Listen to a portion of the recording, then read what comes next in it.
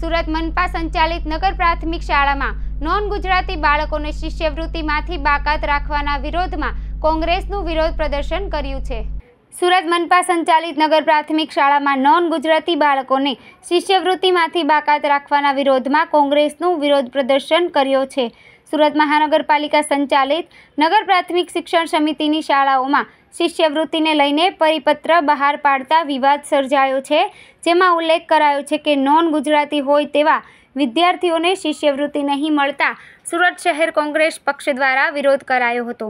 આજે સુરત શહેર કોંગ્રેસ પક્ષ દ્વારા મનપા સંચાલિત નગર પ્રાથમિક શિક્ષણ સમિતિની શાળામાં અભ્યાસ કરતા વિદ્યાર્થીઓની શિષ્યવૃત્તિ માટે પરિપત્ર બહાર પાડતા વિવાદ સર્જાયો છે જેને લઈ કોંગ્રેસ પક્ષ દ્વારા વિરોધ કરવામાં આવ્યો છે. કેમેરામેન હકીમ શેખ સાથે વસીમ હાસમીનો રિપોર્ટ આઝાદ ન્યૂઝ સુરત. મારું નામ સુરેશભાઈ સુહાગિયા પૂર્વ સભ્ય નગર પ્રાથમિક શિક્ષણ સમિતિ સુરત.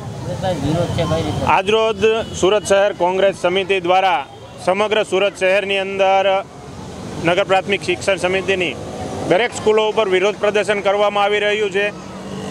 એ વિરોધ પ્રદર્શન કરવાનું કારણ કે ભારતીય જનતા પાર્ટીની સરકાર દ્વારા જે પ્રમાણે બાળકોની સાથે ભેદભાવ કરવામાં આવી રહ્યો છે, એક બાજુ એક ભારત શ્રેષ્ઠ ભારતની વાત કરે છે વડાપ્રધાન અને બીજી બાજુ ગુજરાતની અંદર જે બાળકો શિક્ષણ મેળવી રહ્યા છે, ત્યાં જ એનામાં ભેદભાવના, જ્ઞાતિવાદના, જાતિવાદના બીજ રોપવાનું આ સરકાર દ્વારા કામ કરવામાં આવી રહ્યું છે કે જે બાળકોને શિષ્યવૃત્તિ આપવામાં આવતી હતી અત્યાર સુધી સરકાર દ્વારા. એની અંદર આજે સરકાર દ્વારા નવો ફતવો બહાર પાડવામાં આવ્યો છે કે જે બાળક છે, ભણે છે, એનો વાલી જો ગુજરાતી હશે, એનું પ્રૂફ આપવામાં આવશે, તો જ એને શિષ્યવૃત્તિ આપવામાં આવશે. એટલે આવો જે સરકાર દ્વારા ભેદભાવ કરવામાં આવી રહ્યો છે અને બાળકોને ફક્ત ગુજરાતી હોય, એવા બાળકોને શિષ્યવૃત્તિ આપવાનું જે નક્કી કરવામાં આવી રહ્યું છે, એની સામે સુરત શહેર કોંગ્રેસ સમિતિ વિરોધ કરે છે અને કોઈ પણ બાળકની સાથે ભેદભાવ ન હોવો જોઈએ. ભારતનો જે નાગરિક છે, એ તમામ એક સમાન હોવો જોઈએ અને તમામને એક સમાન હક મળવો જોઈએ. એ માટે આજરોજ એના હક માટે,